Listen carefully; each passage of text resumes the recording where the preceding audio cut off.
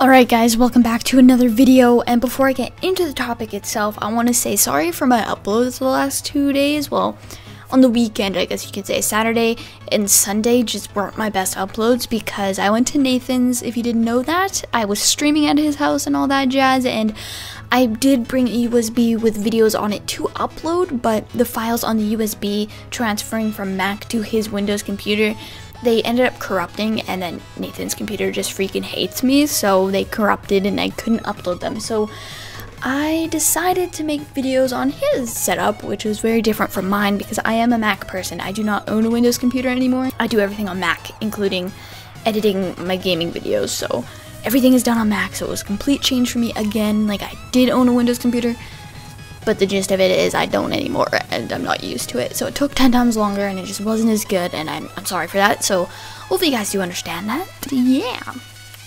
And before I get comments about me owning a Mac and gaming, I don't game on my Mac. I do have games on my Mac, but I don't play them because it's just my internet sucks and yeah, I'm, it's Mac. No, no. But that being said, on my birthday in October, I will be buying myself a gaming computer. So, I'm pretty stoked about that because that's when I'm going to be able to start streaming and stuff on my own. So yeah, right before Black Ops 3 comes out, I will get my gaming computer and I'll be able to stream and make great 10 out of 10 videos on that.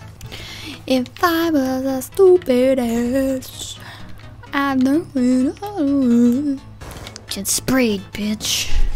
So yeah, that's pretty much all I want to say about streaming. And if you guys did show up to my streams from watching my YouTube video saying I was streaming, I do appreciate that. All of you guys showing up, I really do appreciate that. It was always a fun time. But yeah, let's get into the story. So I don't know if you guys live near me. I live in Canada if you didn't know that. And pretty much not even a week ago, I don't think, this little girl went missing. And she was basically a Canada-wide Amber Alert, basically like a missing person kind of thing, but like serious missing person. It's like all over the news. People have like search warrants, like search parties and all that shit, and it's just intense. It's probably a worldwide thing. I'm stupid for explaining that.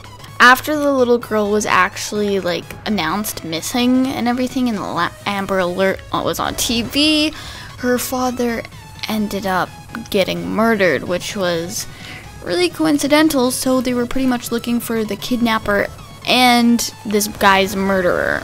I'm not sure the details of this story. This is pretty much just what I've seen on social media, what I've watched on the news, and all that stuff. So, a little bit's a little foggy because it's not like I followed the story completely, but I, I did hear about it and all that stuff. And they ended up arresting this guy for two counts of first degree murder and something else. I'm not sure what it's called, but it often is like associated with like something with the corpse is just not okay. Like, you know what I mean? Like, he did something with the corpse that was really, really questionable or something like that, which often, like, leads people to think, like, rape and stuff like that. So, yeah, that was a little weird. If I didn't tell you this already, this little girl was only two years old. I don't, like, just imagine how scared this little girl was. Two years old, kidnapped, do they have an orbital or something? Fuck this game. Seriously. Seriously though, imagine how scared this little girl was. Two years old, kidnapped, and then murdered. I'm speechless. Like, that's brutal. Fun fact, though. Well, fucked up fact. Uh, the little girl's mother, which had her when she was like 18 or something, so she didn't live with the like father, um, didn't know her own daughter was even missing until her Amber Alert showed up on the TV. Like that's pretty messed up if you think about it. I don't really know why I decided to share this story with you guys. It was just something that's just been getting to me the last couple days because I just can't wrap my head around why someone would do that to a little girl or even an adult, you know? It's just something that, like, just I don't get. Like, I'm not a murderer, so I don't think I'll ever understand that. And it's like, you see this stuff, like, on CSI shows, right? And, like, you just don't expect it ever to happen in real life or you don't think it could happen to you. And basically, there's a point I'm trying to get across, and that's just, like, be careful. like, people are really crazy. It freaks me out knowing that like anything could happen at any time, like honestly. But yeah, hopefully I didn't bring your mood down too much or like freak you out with this. Like I just felt like sharing it to get it out of my head. And I've just been thinking about it nonstop. Like I'm a really caring person. When something like that happens to like not even my own family, I get like overworked about it because I just can't stop thinking about it and like how people like feel when that happens to them and kind of thing. Like I just overthink about it.